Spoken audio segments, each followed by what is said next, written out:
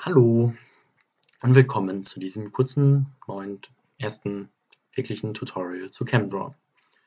Als erstes öffnen wir bitte ChemDraw und ihr werdet eine solche Seite vorfinden. Und damit wir überhaupt damit arbeiten können, werden wir jetzt erstmal ein paar Einstellungen vornehmen für die Zukunft, um ChemDraw so benutzen zu können, wie wir es gerne möchten und wie es auch an der Universität erwartet wird. Ähm, momentan ist ein Standard eingestellt ein ganz normales New Document. Das können wir ändern und zwar, wenn ihr unter File geht, habt ihr hier Open Style Sheets und hier ist eine ganze Liste von Style Sheets vorhanden. Und normalerweise wird dieses New Document ausgewählt, aber bei uns ist das ACS Dokument 1996 Standard.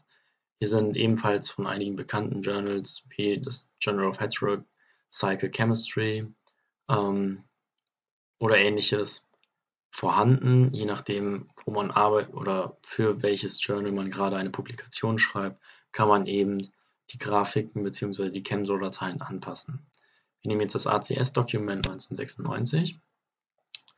Ähm, wahrscheinlich fragt ihr euch aber jetzt erstmal, was ist denn der Unterschied? Ähm, gucken wir uns einfach mal das Ganze hier an.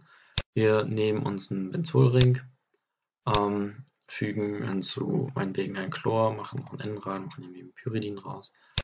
Und dasselbe gucken wir uns jetzt mal in beiden an. Ähm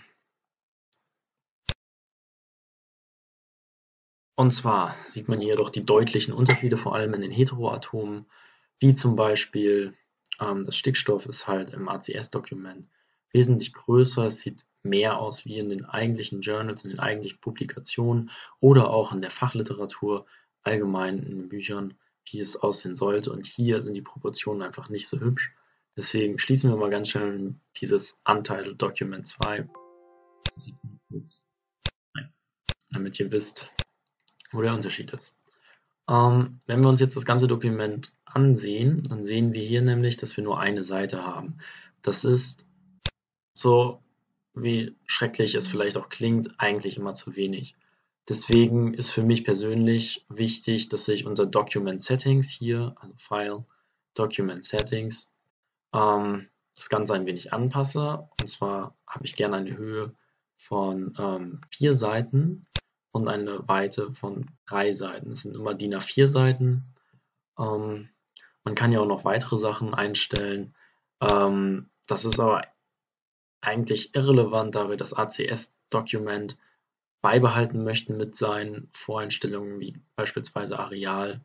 Ähm, falls man mal in seiner Masterarbeit zum Beispiel Times New Roman verwendet und ähm, es warum auch immer gerne hätte, dass auch die Schrift, mit der man schreibt, übereinstimmt mit der Schrift, in der eben die Heteroatome angezeigt werden, könnte man es hier ändern. Soll, muss aber eigentlich nicht. Wir klicken mal ähm, OK und direkt sehen wir, wie das Ganze hier jetzt aussieht. Wenn wir mal rauszoomen, sehen wir eben 1, 2, 3 Seiten in dieser Richtung und vier Seiten aufeinander aufbauend in der Höhe. Ähm, hier drüben ist noch unser Molekül. Ich arbeite auch meist immer hier in der Mitte. Das reicht mir aber auch noch nicht. Ähm, ich habe noch gerne eben dieses Crosshair hier immer gern drin. Ebenso ähm, diese Rulers. Das Ganze gibt einem eine ganz gute Orientierung, oftmals auch wenn man Sachen ausrichten möchte, wie, ja, fragt mich jetzt nicht. Ich hätte jetzt gerne äh, den hier so angeordnet, dass er an diesem Kasten eben so drauf liegt. Da kann man mit den Pfeiltasten das Ganze relativ gut verschieben. Ähm, das ist jetzt alles mit den Pfeiltasten passiert. Wir können eben auch hierüber die Gradzahl ändern, je nachdem, wie wir das gerne hätten. Ähm, undo Rotate. Ähm,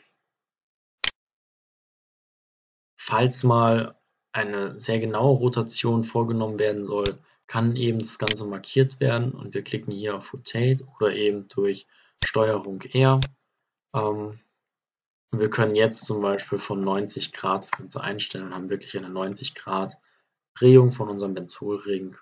Ähm, und das Ganze können wir dann im Grunde so weitermachen. Kleine Spielereien. Ähm, wir haben jetzt bereits das meiste so eingestellt, wie wir es gerne hätten. Ich würde euch noch bitten, dass wir uns hier einmal diese Object Bar, also unter View gibt es einiges an solchen Bars, oben mit in die Leiste hineinholen, standardmäßig. Das geht einfach durch Einfügen. Und ähm, ebenfalls diese Structure Bar, da komme ich später in weiteren Tutorials auch noch drauf zu sprechen, auch. Was gibt es hier noch unter View? Ihr könnt einiges einstellen. Ich stelle kurz die wichtigsten vor. Einmal das Analysis Video, äh, äh, das Analysis Window. Ähm, wenn wir jetzt nämlich zum Beispiel unseren Benzolring hier darstellen oder eben ein Benzolring, ein äh, Pyridinring, dann können wir nämlich über dieses Analysis Window uns ansehen, wie jetzt gerade die Masse, das Molgewicht oder eben auch M durch Z für spätere Massenspektroskopie aussieht und hierüber können wir die Dezimalstellen einstellen. Hier ist sogar ein kleines ähm, Massenspektrum vorgestellt, also jetzt ist hier eine sehr kleine Erhebung, vielleicht da sieht man eigentlich auch nicht mehr, wenn wir jetzt vielleicht ähm, ein Chlor einfügen eben, ähm, dann genau sehen wir in diesem Fall zum Beispiel hier eine andere Verteilung. Ähm, das zum Analysis Window, was gibt es noch Wichtiges, wäre vielleicht das äh, Chemical Property Window. Wenn wir hier eben etwas markieren, können wir uns die Chemical Properties, die berechnet wurden und nicht so genau sind, anschauen. Ähm, Log P ähm, oder vermuteter Melting Point etc. sind ganz interessante Daten dazu. Ähm, oder was gibt es noch? Periodic Table könnte praktisch sein. Hier können wir eben uns gewisse Sachen aussuchen, falls man mal Germanium oder so braucht, aber das Ganze ist auch anders möglich. Ähm, und ansonsten ist vielleicht auch noch zum Lernen ganz gut dieses Chem 3D Hotlink Window, wenn wir uns können oder wir können eben in diesem 3D Bild die Moleküle entsprechend ansehen, wie jetzt ganz einfach dargestellt die dreidimensionale Darstellung dieser vermutet wird bzw. sein sollte. Und das könnte zum Beispiel für das Üben und Vorstellen von SN-Reaktionen mit einer entsprechenden Waldenumkehr durchaus praktisch sein. Ansonsten werdet ihr es eher weniger brauchen, da es doch schon einiges an Grafikspeicher frisst. Ja, das erstmal dazu. Hier gibt es einiges an Windows, die man äh, Fenstern, die man öffnen kann, beibehalten kann. Ähm, jetzt noch wichtig zu dem Ganzen, wir haben uns das jetzt vorbereitet. Jetzt gehen wir hier auf Save As. Ähm, unter Save As gehen wir Go to CamDraw Items und dann nehmen wir nicht diese CDX-Datei, sondern eine CamDraw Style Sheet Datei und nennen das Ganze jetzt mal Tutorial zum Beispiel. Speichern es. So, jetzt ist zum einen geändert, dass wir hier zum Beispiel New Tutorial standardmäßig haben. Wir können also ein New, oder ich schließe die beiden mal, ähm, ein New Tutorial Window aufmachen. Oh, genau, da seht ihr jetzt zum Beispiel einen Fehler. Also das ist wirklich das, was wir vorbereitet haben. Jetzt wird entsprechend noch das hier drin sein in diesem New Tutorial. Das ist eigentlich ganz witzig.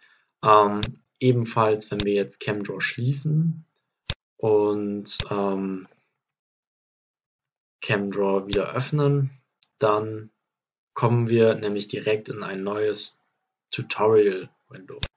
Ich hatte auch noch andere Style Sheets äh, schon mal vorbereitet, zum Beispiel eins hier als Praktikum. Das ist jetzt wirklich leer, ähm, eben auch in diesem Format aufgebaut.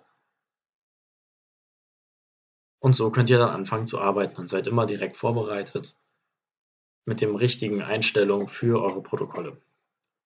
Vielen Dank für dieses Tutorial. Im nächsten beschäftigen wir uns dann weiter mit dem Programm und einigen Kleinigkeiten.